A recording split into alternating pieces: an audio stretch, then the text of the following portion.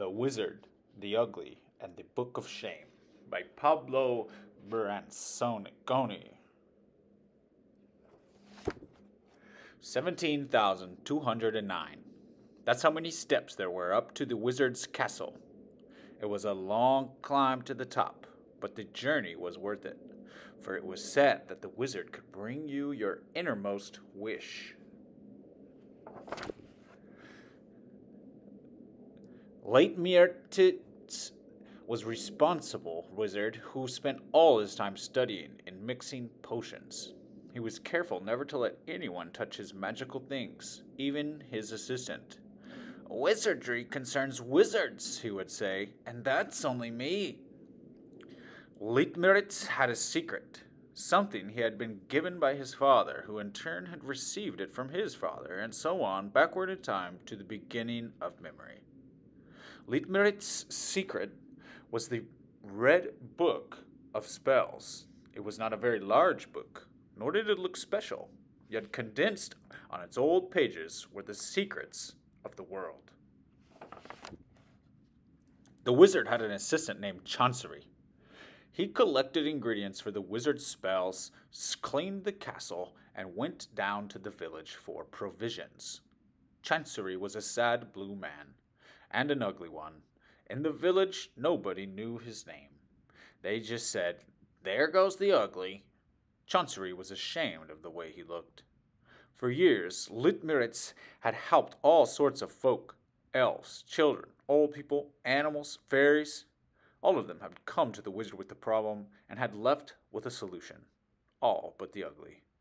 Your shame has nothing to do with magic, Leitmeritz said every time Chancery asked him for help. It is only the triumph of the mirror. But Chancery was still sad. One morning, news arrived that the unicorn Blanek was having trouble with a loose horn. After consulting with the Red Book of Spells, Leitmeritz hurried off to help Blanek, leaving the castle in Chancery's care. Later that day, the Ugly was sweeping the wizard's chamber, taking great care not to drop or break anything when he noticed his master's secret Red Book of Spells sitting on a small table. Chancery knew he shouldn't open it, but he just had so many questions, and before he could stop himself, Chancery plunged into the book. He saw people and places and creatures, both beautiful and terrible. He saw his hopes in the colors on the white paper and all his fears in the black ink. Each blot was a world. Chancery's head was dizzy with all the wonders the book contained, but he knew he must concentrate if he was going to fix his problem. And so at last, Chancery spoke his innermost wish to the book. I want to be handsome. The book suddenly began to tremble, and Chancery pulled his hand away. But instead of falling to the floor, the book floated in the air amid lights and strange sounds. All at once, the letters of the book lifted off the pages, then flew in all directions, followed by images, textures, and other wonders that Chancery had never seen before. Then the red book of spells fell down. It was nothing but a heap of blank pages, its contents scattered throughout the wizard's room. Leitmeritz will turn me into a plant, cried Chancery, or even worse, a rock. Now, not only was Chancery still ugly, but he had also destroyed the wizard's most valuable possession. I cannot tell him, but how can I repair it? There was only one way. The book was empty and it would have to be refilled. Chancery carefully gathered the contents of the book, word by word, letter by letter, and placed them bit by bit on the blank pages of the red book. It took him seven long days. He had only just completed the last page when the wizard knocked at the door of the castle. Leitmeritz had returned. Days went by. Leitmeritz classified his potions while Chancery assisted him. The wizard had not yet used the book again, but he had no reason to think anything was wrong until one night when some visitors came to the castle. The first visitor was a toad who began, as all toads do, by asking to be turned back into a prince.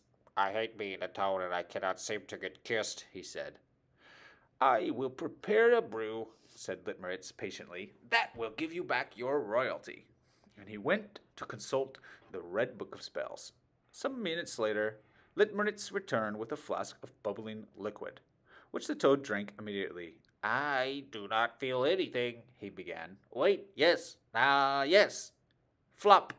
The toad was still a toad, but now he was violet with little stars on his body. It never happened like this before, said the wizard. He consulted his book and returned with a new elixir. Try this! Flop. The violet toad became a yellow toad. Litmeritz tried again. Flop. Now I am red. Help! Flop. Now he was a graffitied and angry toad. I must leave before it gets worse. Who will kiss me now? cried the toad. Litmeritz disappeared into his chamber to review all his formulas. I do not understand, he said. Then a dragon arrived. Argos was a magnificent old dragon. The villagers feared him, but Litmeritz considered himself to be Argos' friend. My throat aches, complained the dragon. It must be from all the fire breathing I do. I don't know if I can help you just now, said the wizard, remembering the toad. You must help me, insisted the dragon. It hurts so much. You don't want to annoy me, do you? No, Litmeritz certainly did not want to annoy the dragon. Aided by Chancery and following the recipe in the Red Book of Spells, he prepared a huge pot of dragon syrup. Here you are, Argos. Drink it all. My throat no longer hurts, mumbled Argos, but now there's a funny taste in my mouth. Hic! A small sky blue bubble floated out of his enormous mouth. Hic! Then another and another. Chancery watched with wide open eyes. I am breathing soap, cried the dragon. Who will be frightened of me now? This is a catastrophe, and you are responsible, Litmeritz. Your magic doesn't work. The wizard, horrified, hid himself in the castle, vowing to never use his powers again. The news spread rapidly throughout the village. Litmeritz, the wizard, had closed the gates to the castle and was not receiving anyone. No exceptions. Two long weeks went by without magic. Then Anacreon, the king, set out to see Litmeritz. He would not take no for an answer. The king arrived, surrounded by counselors, maidens, knights. He climbed the 17,209 steps up to the castle. Open your door, Litmeritz. Your king is talking to you. No answer. My word is law, wizard, so open your door or I will batter it down. A sharp creak was heard, and the heavy door opened tentatively. Litmeritz put his head out, resigned to obeying his king, perhaps for the last time. My feet hurt, said the king, very much. Wait here, said the wizard. I will bring you something. In his chamber, Litmeritz gathered the ingredients for the brew one by one, carefully following the recipe and the red book of spells. This time I cannot fail, Chancery, said the wizard nervously. I am following the instructions exactly. It cannot fail. It must not fail. A few minutes later, Litmeritz came out of the room carrying around a flask that contained a thick green liquid. Drink it, my king, and this will ease the pain in your feet. The king drink the brew. What's wrong? What's wrong? shouted Ennesteron. Why do you look at me like that? And why is my head aching now as well? A mirror! Give me a mirror! My king, do not worry, I can solve it, said the wizard, handing him a mirror. I have a foot for a head, roared Anacreon when he saw himself. What have you done, you fool? How will I gain the respect of my subjects? They will think, say I think with my feet. Guards, guards! Stop! exclaimed Chancery as Litmeritz struggled with the guards. Stop! He is not guilty. Release him. It is my fault. It is all my fault. What are you saying, Chancery? asked Litmeritz. I do not understand. What do you mean? I asked the book to make me handsome, sobbed the ugly. I am tired of being the ugly. I'm sorry, master. Forgive me. The wizard looked at Chancery. The Red Book of Spells is very dangerous, he explained. It was created to be read only by wizards, so if an ordinary person asks the book for anything, it protects itself. Find a way to fix it, cried the king, who watched the thing in anguish, with a foot for a head. There is only one way, but it won't be easy, said the wizard. Chancery must attain his innermost wish without using any magic. How could Chancery be seen as handsome when he was the ugly? His own reflection frightened him. He even disliked his shadow. Yet he had to try. To work, he said, and so Chancery began. He began with his face. Perhaps with adhesive tape he could disguise his imperfections.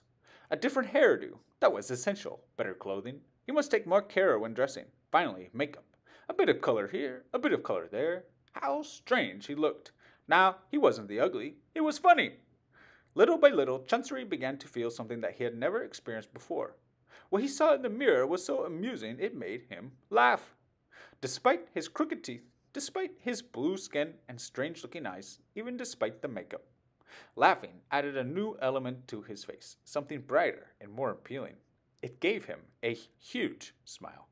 His face had changed, and Chancery could not stop laughing.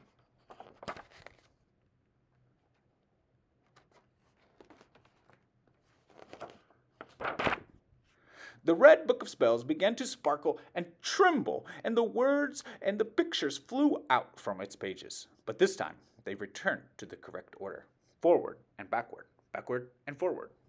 After a few minutes, the red book of spells looked like a brand new book. Your shame was hidden under shyness, said Litmeritz. You have defeated the mirror.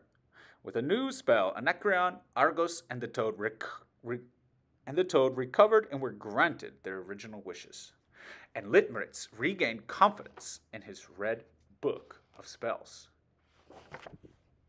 These days, Chancery goes down to the village as often as he can. The villagers don't know all his name, but Chancery no longer cares. In fact, he is proud every time someone points him out and says, There goes the big blue man with the big smile. That is the end of The Wizard, the Ugly, and the Book of shame.